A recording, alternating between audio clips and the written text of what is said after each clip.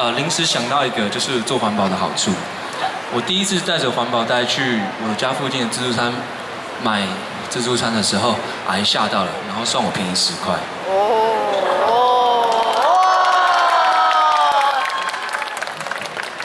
所以如果你们今天带着环保袋去你家附近的自助餐买自助餐，如果阿姨没有便宜十块的话，你就找米香。我知道练团是有那个零，就是有那个铺满嘛，里面应该有很多十块，我们发给大家应该可以。哦，我看现在人是应该一下就没了。哦，一下就没了，是不是？人好像有越来越多了，对不对？真的。好，其实今天还有一个非常重要的的事情要要宣传，为什么呢？因为呃，在九月二十一号，就是其实也就是暑假过完的时候，啊、即将在九月二十一号，我要办自己的专场演唱。